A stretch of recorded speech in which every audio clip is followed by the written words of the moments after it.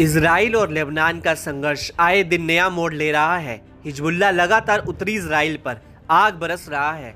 कभी ड्रोन तो कभी रॉकेट अटैक से इसराइली ठिकानों में जमकर तबाही जारी है। हिजबुल्ला ने अपने हमलों से साफ़ संदेश दिया है कि वह इसराइल के खिलाफ बड़े और लंबे युद्ध के लिए भी तैयार है। उत्तरी इसराइल का हर कोना लड़ाकों के हमलों से दहल रहा है। हालाँकि इसराइल भी करारा जवाब देते हुए हिजबुल्ला को सीधी चुनौती दे रहा है। हमास के साथ, जहाँ गाजा में इजरायली सेना भिड़ रही है, वहीं इसराइल लेबनान बॉर्डर में भी जंग का एक और मोर्चा खुला हुआ है।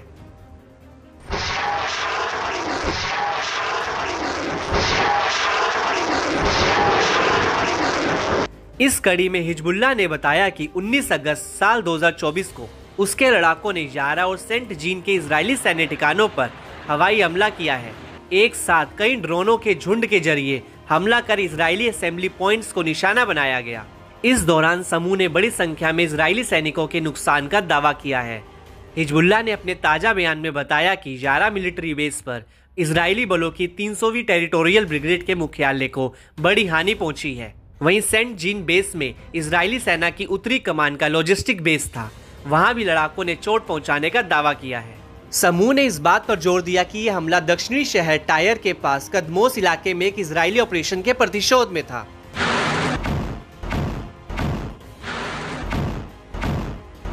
ड्रोन हमले के अलावा हिजबुल्ला ने इसराइली जारिड बैरक और पास के असेंबली पॉइंट पर रॉकेट और तोप खाने से हमला किया। बैरक के कुछ हिस्सों को दबा कर दिया गया, जिससे उसमें आग लग गई। समूह ने बताया कि यह ऑपरेशन दक्षिणी लेबनानी गाँवों, खासतौर से बटोली शहर पर इसराइली हमलों के जवाब में था। लेबनानी प्रतिरोध के घातक ड्रोन ने पश्चिमी अल जलील में बनाए गए नए इसराइली मिलिट्री साइट को भी निशाने पर लिया। इसराइली अखबार हेडशॉट हामोट ने इलाके में एक सैनिक की मौत की पुष्टि की, साथ ही छह घायलों की भी जानकारी दी। इसराइली मीडिया ने कहा कि यारा पर हमला एक गंभीर घटना थी। इसराइली मारीव अखबार ने नहारिया इलाके को निशाना बनाने वाले रॉकेट बैराज को असामान्य बताया। एक इजरायली मीडिया आउटलेट ने कहा कि उत्तरी कब्जे वाले फिलिस्तीन पर बमबारी कर हिजबुल्ला गुस्से में जाग उठा। वहीं इजरायली मीडिया ने हिजबुल्ला के रॉकेटों से इसराइल की उत्तरी बस्तियों को महत्वपूर्ण नुकसान का खुलासा किया है, जो उन इलाकों में बसने वाले इसराइलियों में डर और दहशत को उजागर करता है।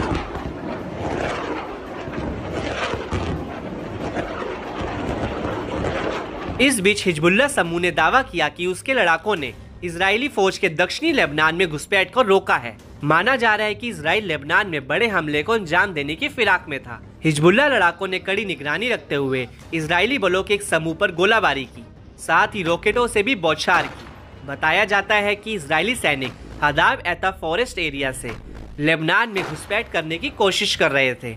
प्रतिरोध समूह ने कहा कि हमले में इजरायली फौज हताहत हुई। आखिरकार सैनिकों को पीछे हटने के लिए मजबूर होना पड़ा।